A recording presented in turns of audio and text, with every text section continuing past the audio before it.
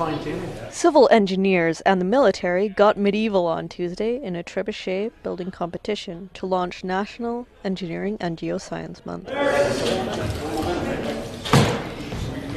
Mark Flint, CEO of APEGA, says some professions have a direct connection with the public, but engineering and geosciences don't always have that direct connection. I think there's lots of indirect connection to our professions to uh, society, and this is a good opportunity to stop and reflect on those connections. The launching of the cardboard catapults coincides with the launch of a new website, ingenious.ca, a site for kids to learn more about careers in geoscience and engineering. Building trebuchets was a friendly challenge to test engineering skills. Back in like the 13th, 14th century, this was high tech. This was very like cutting edge engineering. They used it to siege forts, that sort of thing.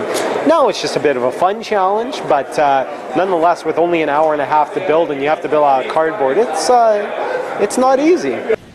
Three, two, one. Boxes won, so the competition went into a tiebreaker where accuracy of a beanbag toss counted more than the brute strength of the catapult.